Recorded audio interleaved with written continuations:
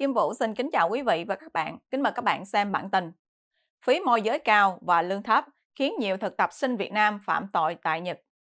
Ngày 29 tháng 8, BBC Tiếng Việt có bài Thực tập sinh Việt Nam tại Nhật Bản. Tôi gửi tiền ăn trộm về cho gia đình. BBC dẫn báo Asahi Shimbun cho hay, cuối tháng 7, một thực tập sinh người Việt 32 tuổi bị bắt vì trộm cắp. Ông cho biết, tôi đã gửi số tiền ăn trộm được về cho gia đình ở Việt Nam.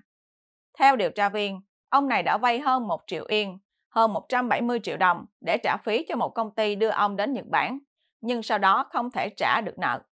Báo Asahi dẫn thông tin từ cơ quan cảnh sát quốc gia Nhật Bản cho hay, năm 2023 có hơn 1.600 người Việt bị bắt ở Nhật, chiếm khoảng 28% tổng số người nước ngoài bị bắt giữ và là con số cao nhất tính từ năm 2019. BBC dẫn một khảo sát của cơ quan quản lý xuất nhập cảnh Nhật Bản cho thấy hơn một nửa số thực tập sinh đã vay trung bình 540.000 yên, tức khoảng hơn 97 triệu đồng vào thời điểm tháng 4 năm 2022 để đến Nhật Bản. Nhưng 20% trong số này cho biết mức lương ở Nhật thấp hơn họ tưởng và nhiều thực tập sinh đã trốn ra ngoài tìm việc khác để có tiền trả nợ. Và đây là hình bài trên BBC. Từ cuộc khảo sát, cơ quan quản lý xuất nhập cảnh Nhật Bản cũng cho rằng thực tập sinh sang Nhật Bản đang phải chịu mức chi phí không công bằng. Bên cạnh đó, BBC cho biết, việc tỷ giá yên Việt Nam đồng xuống thấp cũng khiến thực tập sinh khó trả nợ hơn.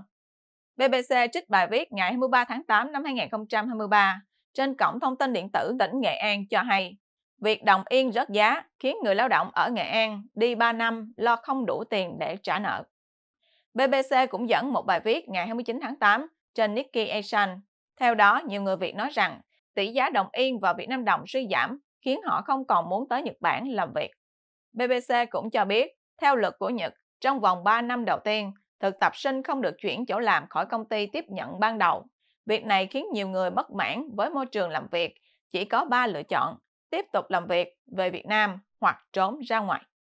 Theo tờ Nikkei Asian, nhiều thực tập sinh Việt Nam e ngại, không dám lên tiếng khi bị người sử dụng lao động quấy rối tình dục hoặc ngược đãi bằng lời, bằng bạo lực hoặc không trả lương do sợ sẽ mất việc. BBC dẫn quan điểm của ông Nakashima từ một tổ chức phi chính phủ hỗ trợ người ngoại quốc sinh sống ở Nhật cho rằng chính phủ Nhật cần có những chính sách lâu dài hỗ trợ việc cư trú tại Nhật Bản. Và đây là hình thực tập sinh Việt Nam lên đường sang Nhật. BBC dẫn thông tin từ Cục Quản lý Lao động ngoài nước thuộc Bộ Lao động, Thương binh và Xã hội Việt Nam. Theo đó, trong 3 tháng đầu năm 2024, Việt Nam có hơn 23.000 lao động tới Nhật làm việc. Việt Nam là quốc gia có lượng thực tập sinh nước ngoài lớn nhất ở Nhật.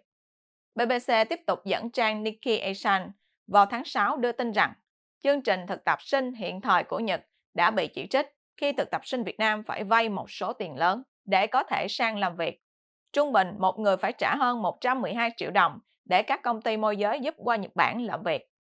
Nikkei Asian dẫn nguồn tin cho biết, Cơ quan Hợp tác Quốc tế Nhật Bản, viết tắt JICA, sẽ hợp tác với chính phủ Việt Nam và Tổ chức Lao động Quốc tế, viết tắt ILO, để giảm gánh nặng tài chính cho những người học việc đi Nhật Bản. Theo đó, JICA, chính phủ Việt Nam, ILO và các bên khác sẽ sớm ký một thỏa thuận thành lập sáng kiến tuyển dụng công bằng và đạo đức Việt Nhật dự kiến sẽ được áp dụng vào mùa thu năm nay.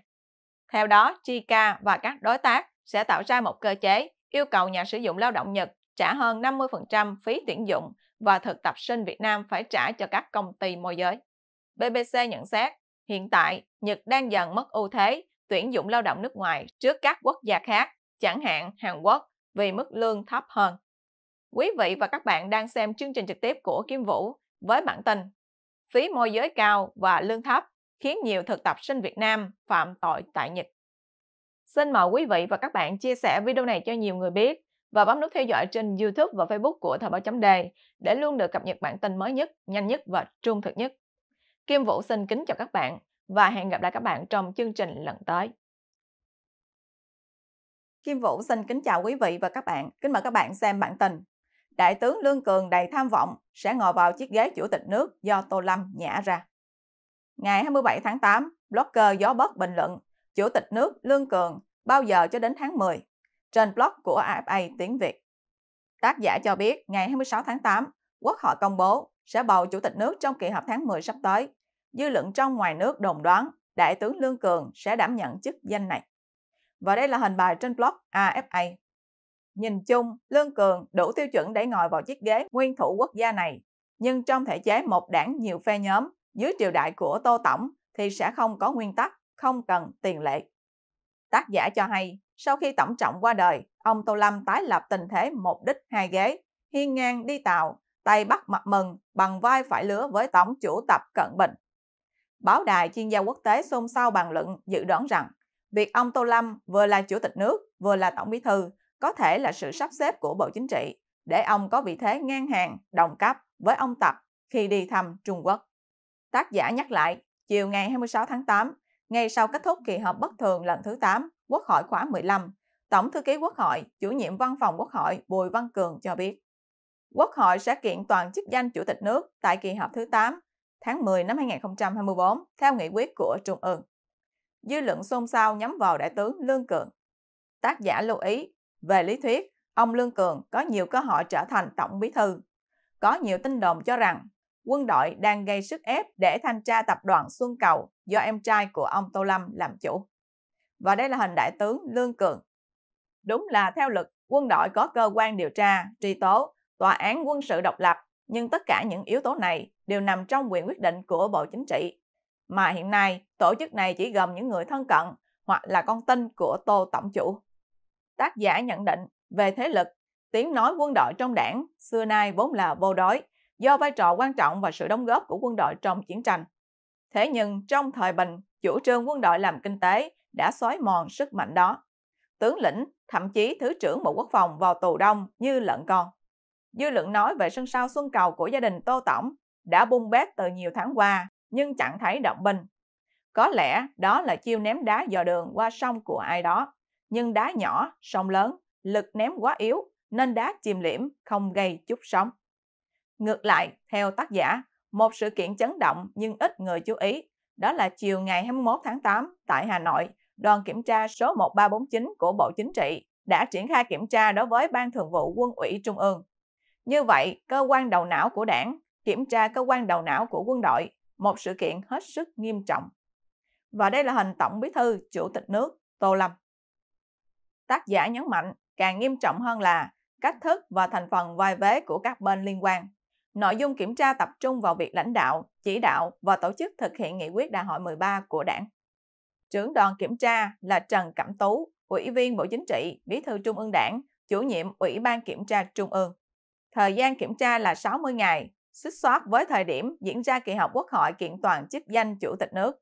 Trong 60 ngày ấy, liệu ông Tú có tìm ra thanh củi to nào để lập công với Tổng chủ Tô Lâm hay không? Ông Lương Cường hẳn đang thấp thỏm với câu hỏi bao giờ cho đến tháng 10 đây? Tác giả cho rằng phân tích sự kiện để thấy rõ hơn cuộc chém giết mang tên chống tham nhũng, đốt lò thực chất chỉ là đấu đá tranh giành quyền lực. Lương Cường hay bất cứ quan chức nào bị ngã ngựa cũng đều xứng đáng không oan ức. Đáng tiếc là bên thắng cuộc cũng không phải người sạch sẽ, chỉ đơn giản là kẻ mạnh hơn. Dân chúng không có phần, thậm chí càng nghèo khổ hơn dưới sự cai trị của thể chế độc tài, bất tài, tham ác. Quý vị và các bạn đang xem chương trình trực tiếp của Kim Vũ với bản tin Đại tướng Lương Cường đầy tham vọng sẽ ngồi vào chiếc ghế chủ tịch nước do Tô Tổng nhả ra. Xin mời quý vị và các bạn chia sẻ video này cho nhiều người biết và bấm nút theo dõi trên YouTube và Facebook của Thời báo chấm để luôn được cập nhật bản tin mới nhất, nhanh nhất và trung thực nhất. Kim Vũ xin kính chào các bạn và hẹn gặp lại các bạn trong chương trình lần tới.